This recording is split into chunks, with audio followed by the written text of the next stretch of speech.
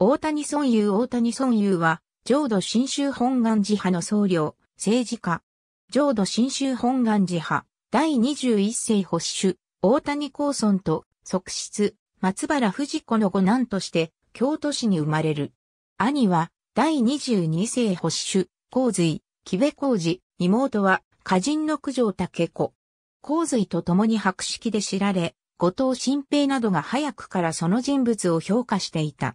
成人してからは五連士として、兄の宗正を助け、本願寺執行長、本願寺派五次会財団理事長、官庁事務取扱いなどを歴任。この間、日露戦争に際し従軍不況の陣頭指揮にあたり、自身も中国各地をたびたび慰問している。数々の教団改革を進め、大谷体験隊を財政面から助けたが、後に多額の負債を教団に残すこととなった。1914年、義国事件により、保守の座を退いた兄に代わって、次期保守が期待されたが、自身も事件に連座して、宗正の第一線から身を退いた。1928年、直選により、貴族院議員となり、第一次、近衛内閣で、宅務大臣、1938年には内閣参議に就く。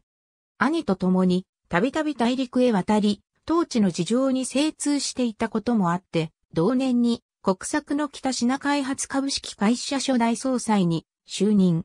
しかしながら、志半ばの1939年、病に倒れ病重、去年54、妻の安子は、小出栄、直の娘。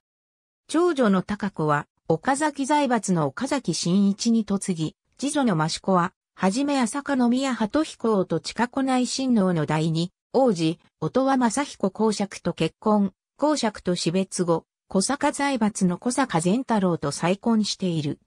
この絵内閣宅務省時代の1937年、品事変が勃発した頃の閣議において、陸軍大臣の杉山本に、陸軍は一体どの線まで進出しようとするのかと尋ねたが、杉山は答えなかった。海軍大臣の米内光政が見かねて、大体永定川と補定との線で停止することになっていると答えた。すると、杉山は、君はなんだ、こんなところでそんなことを言っていいのかと怒鳴ったという逸話がある。ありがとうございます。